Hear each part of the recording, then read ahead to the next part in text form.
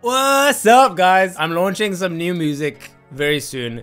I'm so excited about it. It's something I've been working on for a year with some of my best friends, so I couldn't be more excited. I had so much fun on this project, but I do want to manage your expectations in saying that it's definitely not metal.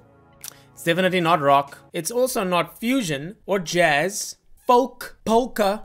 It is pop music, man. If I had to sum up this project in one sentence, I'd have to say it is pop music written like rock music. Okay, so here's the story real quick. About four years ago, I met this guy called Terrace. Yeah, I know, I know. It's, uh, it's I've never heard the name Terrace before either. Let me, I'm just gonna be straight up with you.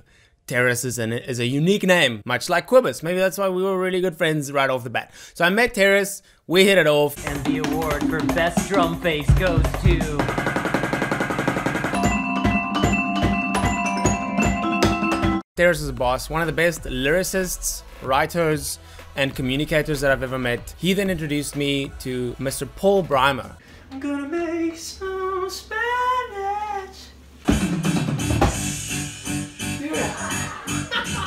what else are you gonna make? I'm gonna make you an omelet. That's so good.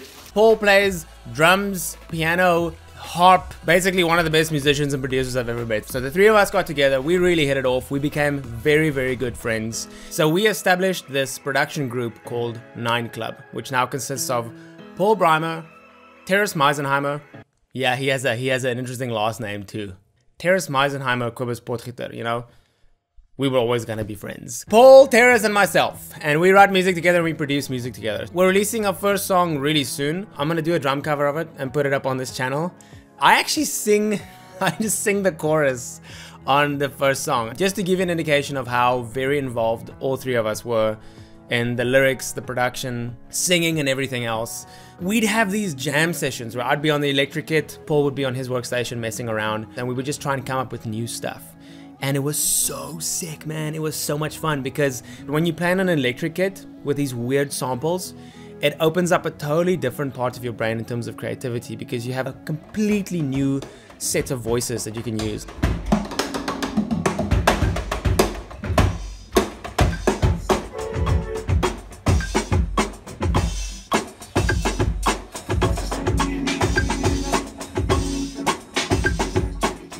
I loved how that forced me to be creative in new ways. And we wrote most of the songs from that place. I've written rock music with people like that before in the same room, kind of figuring it out, but applying that same process to pop music created something really organic. And we actually wrote most of the songs like that. We were always in the same room.